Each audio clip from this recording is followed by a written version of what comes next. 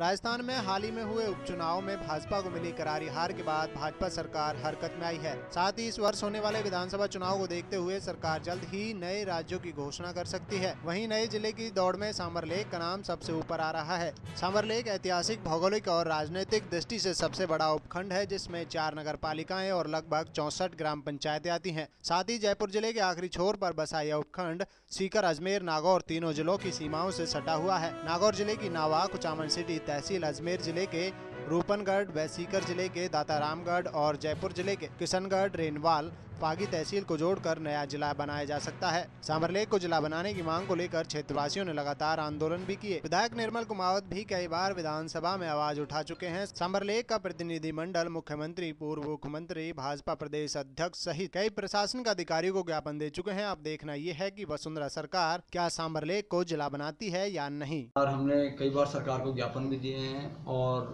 मैं एक बात आपको बताना चाहूँगा कि आज तक आज़ादी के बाद से जितने भी ज़िले बनाए गए हैं, भारतीय जनता पार्टी के शासनकाल में ही बनाए गए उन्नीस सौ के अंदर भैरव सिंह जी ने दौसा को बनाया और माननीय मुख्यमंत्री वसुंधरा राजे ने प्रतापगढ़ को जिला बनाया।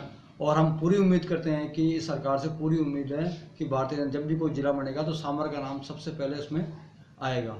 और मुख्यमंत्री को मैं धन्यवाद देना चाहता हूँ कि आज पर्यटन के क्षेत्र में उनको सौ करोड़ रुपए दिए उसके लिए सामर का मतलब सामर की तरफ़ उनका ध्यान पूरी तरह आकर्षित है और सरकार के द्वारा जो पैसा किया जा रहा है, हम ज़िले में एक कदम और आगे बढ़ रहे हैं और मैं सरकार से पूरी उम्मीद है और पूरी उम्मीद के साथ कह सकता हूँ कि जब भी कोई जिला बनाया जाएगा तो सामर का नाम सर्वोपरि होगा और हम इसके लिए पूरी तरह प्रयासरत भी हैं।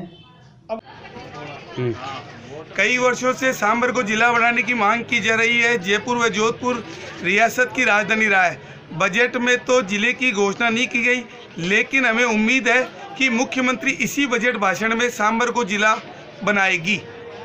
सांबर के व्यापारी सभी इस बात को लेकर उत्साहित हैं कि सांबर ज़रूर जिला बनेगा।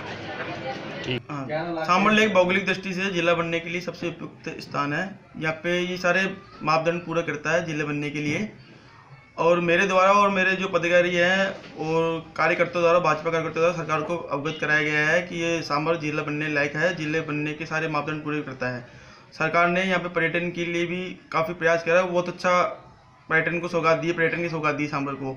हम ये आशा करते हैं कि अ, कि सरकार द्वारा सांबर को जिला बनाया जाएगा हमें पूर्ण विश्वास है।